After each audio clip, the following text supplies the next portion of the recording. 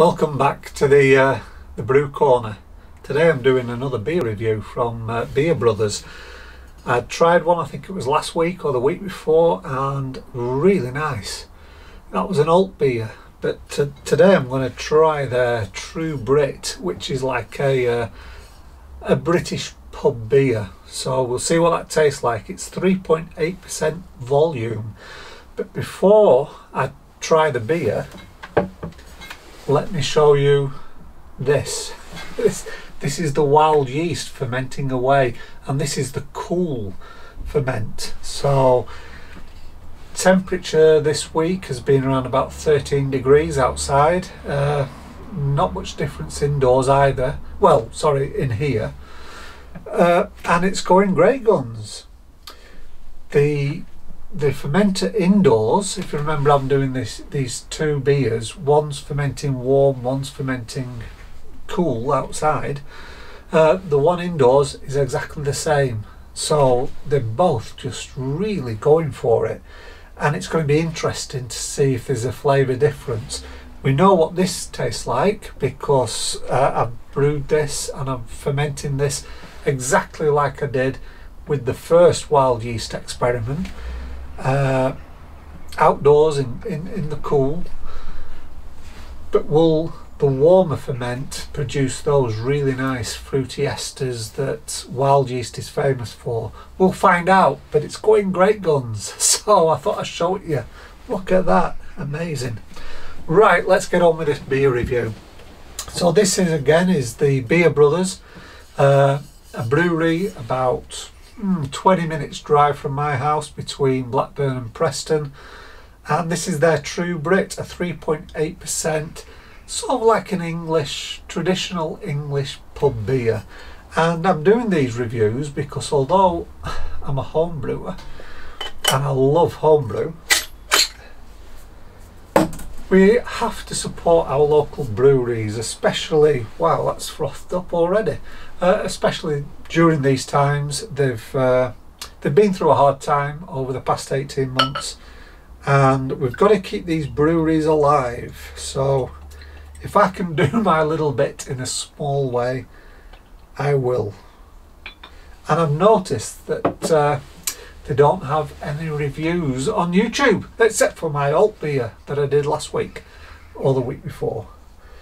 So I thought I'll review them and, uh, mm, you know, give them some marketing perhaps. I'm not being paid for this, they don't even know I'm making the video. Okay, let's have a look at this beer. Well, wow, yes, that's a traditional pub beer a nice deep sort of amber, well, not amber, copper. It's a copper colour with a nice two finger head on the top. Nicely, tightly compact. That looks a really nice beer. Okay, I'm going to dive in. Roasty malt aroma. Mm, very little hop. In fact, no hop at all, really. Okay. Cheers.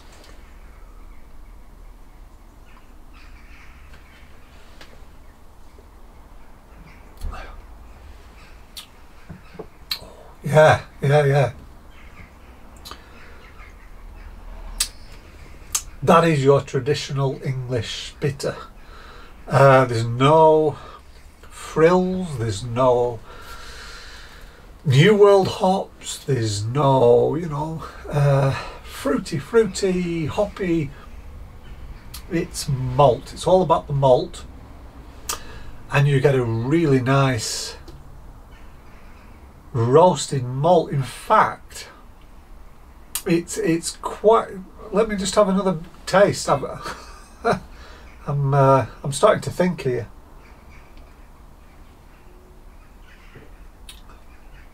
Okay, I'd say for my taste, carbonation's a little bit too much for the style of the beer. Uh, these type of English pub beers should really, in my opinion, have a soft carbonation, not flat, just a nice soft, gentle carbonation. This is a little bit, you know, fizzy.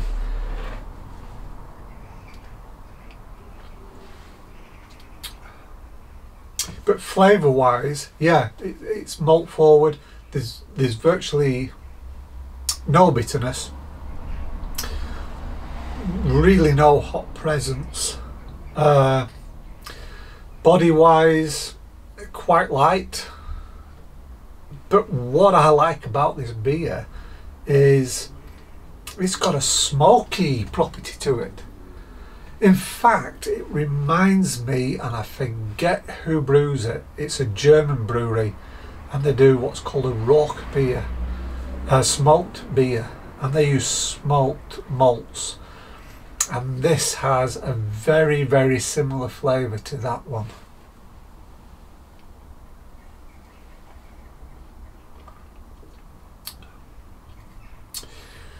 Yeah, it's it's it's reminding me of that beer. I forgot the name of the brewery, uh, but I tried it not long ago, and it's a German smoked beer, a Rauch beer, and it reminds me quite a lot of that beer. In fact, it's like a lighter version of that. Really nice. Usually in traditional English pub beers, you don't get that smokiness they've obviously added that little twist to this, and I think it's worked. Uh, it's still an English beer, but it's just got that little extra.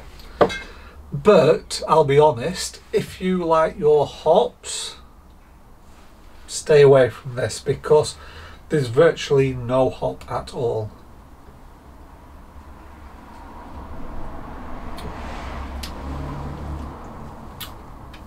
I'm not picking up any hop. Uh, it's quite watery at the back end. Uh, there's no real dryness. There's no bitterness really to speak of. It's very much about the malt. But that said, it's very nice. Uh, that smokiness just gives it. Oh, and it's uh, yeah, like I say, for me, for this style of beer, it's a little bit too overcarbonated as well. Uh, but it is a beer that's definitely about the malt and definitely I think about that that little bit of smokiness that they've put in there.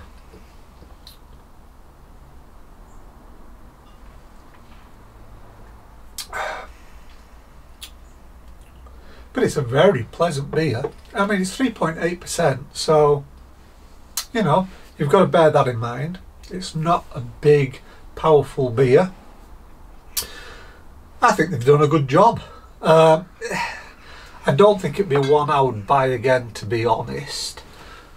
But I'm glad I did, and I'm glad I've tasted it. Uh, it's a nice beer. I think that's all we can say. It's not earth-shatteringly groundbreaking good. Well, fruit flies have uh, come and uh, want to investigate as well and do a bit of beer tasting. Uh, yeah, it's not earth shattering, it's not uh, groundbreaking beer by any chance, but it is decent. And uh, I'm, I'm, yeah, worth a go. They have an online shop. Uh, they're only a very small brewery, and uh, I think most of the sales are online. I don't think they have like a pub or anything like that. They do have a tap room at the brewery, but I don't think they've got a pub uh, chain or anything like this. They're just a small brewery, uh, two mates, uh, schoolmates who uh, enjoyed home brewing and made it a job. So I think we should support breweries like this, you know, and uh, I'm glad to play my part even though they don't know. so, thanks for watching. Uh, True Brit from the Beer Brothers. They've got an online shop, they ship in the UK. Unfortunately, if you live outside the UK, I don't think they would ship to you. But if you're in the UK and you want something a little bit different, True Brit is. It's got the hallmarks of a typical pub beer but it's got that nice smokiness like that German Rauch beer flavour which is interesting and I enjoy it uh, so I'm going to enjoy this okay thanks for watching it's been short but it's been pleasurable and I'll see you again in the next video. Bye bye for now.